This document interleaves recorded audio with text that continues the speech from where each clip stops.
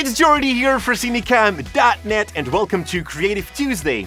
Today we're having a look at 5 not so obvious tips to speed up your editing workflow inside Premiere Pro. And the first one is a very small thing, but it can really mean something big.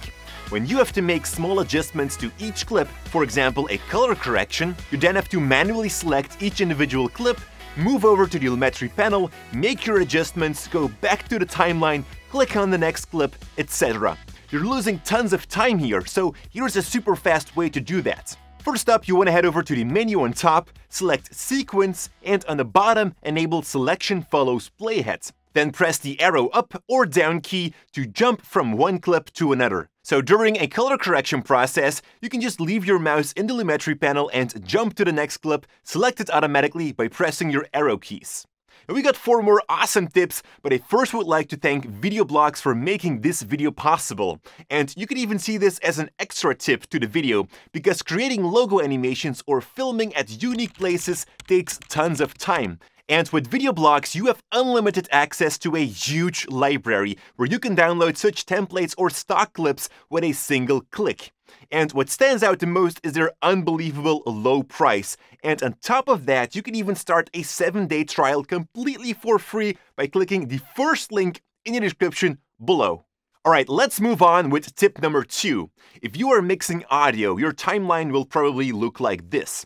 But when you are making basic edits, you might want to change your track heights to something like this. And every time that you want to switch between these tasks, you have to adjust your timeline.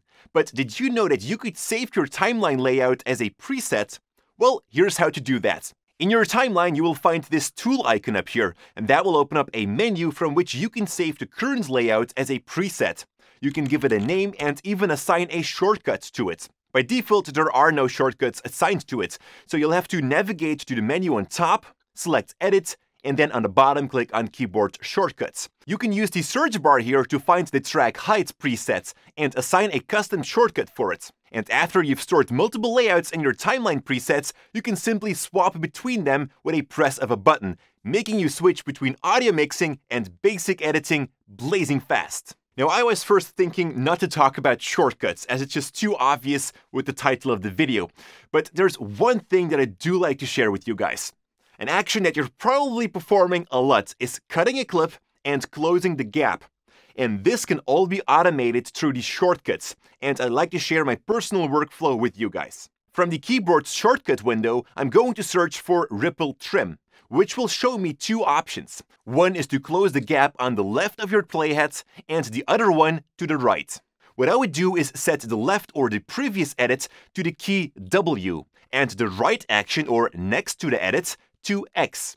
Finally, I would search for add edit and change that shortcut to C on my keyboard.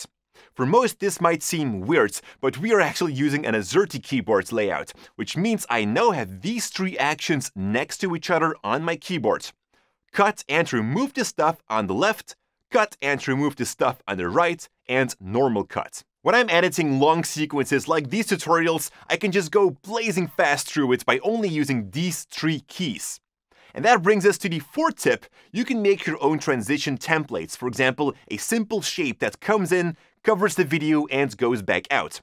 You want to position such a transition over two clips and make sure that the cut is completely covered. Every time when I want to use this transition, I need to fumble in my timeline to find that point again when the cut of my two clips are completely covered. So here's what I'll do. In the timeline where I have created that transition, I add a marker into the timeline on the point where the transition completely covers the screen. You can do so by hitting the M key. Then I'll export this clip using the QuickTime format and animation codec. Then I have this clip which I can import every time again when I'm working on a new project, and magically it took that marker with it as well. And this I just need to drag over and edit, and it will snap just in place because of that marker. That brings us to the last tip, which is also something about the markers. When I like to cut on the beat of the music, it's not always that convenient. It can take up much time to find those beats and adjust your edit to it. What I do is listen a couple of times to the song so that I know the rhythm. when playing back the song in the timeline, I tap the M key on the beat, and that will create this series of markers in the timeline on which I can snap my clips to and thus edit a lot faster to the beat. Now we have another video with 5 more of these blazing fast editing tips. You can find that video by clicking any cards up there or going in the description below to find that link. Thank you so much for watching and stay creative. Hey guys, if you want to edit even more faster inside Premiere Pro, then the palette gear might be something for you. There are a bunch of buttons, dials and knobs which you can customize through these magnets, create your own custom layout, and then just start editing your videos through this. Pretty cool, huh? You can find out more about it in the description below.